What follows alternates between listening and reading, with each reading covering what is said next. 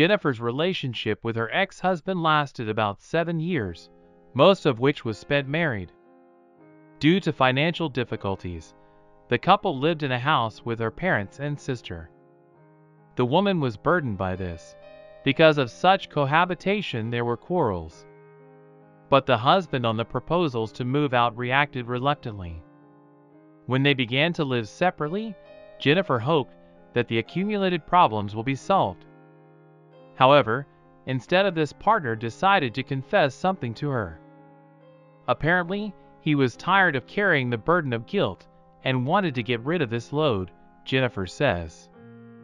One day he confessed that he occasionally used my sister's and mother's dirty laundry to satisfy himself.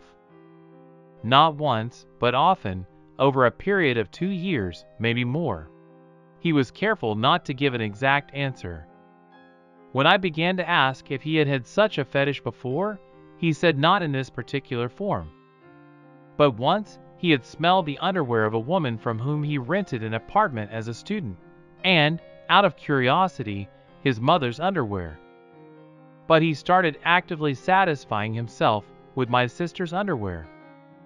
And rarely, apparently for some variety, my mother's. It all sounded quite shocking and disgusting to me. And to this day, I'm still not entirely sure if he wasn't sexually attracted to them.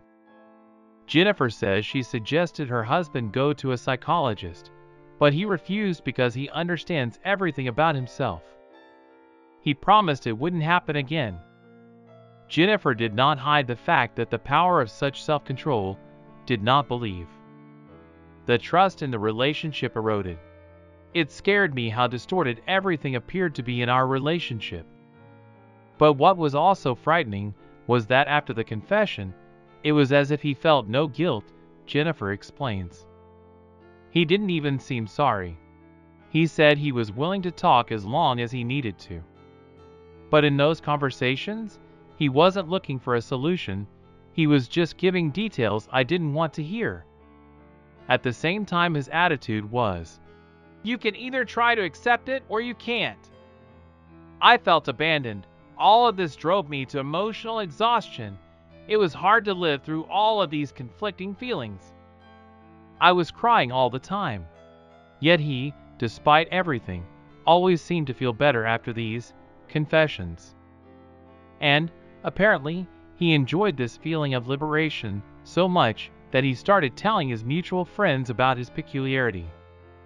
I was shocked and asked him to stop doing that I was already having a hard time, and this made it even harder. The image of the husband, she knew, was gradually crumbling for Christina.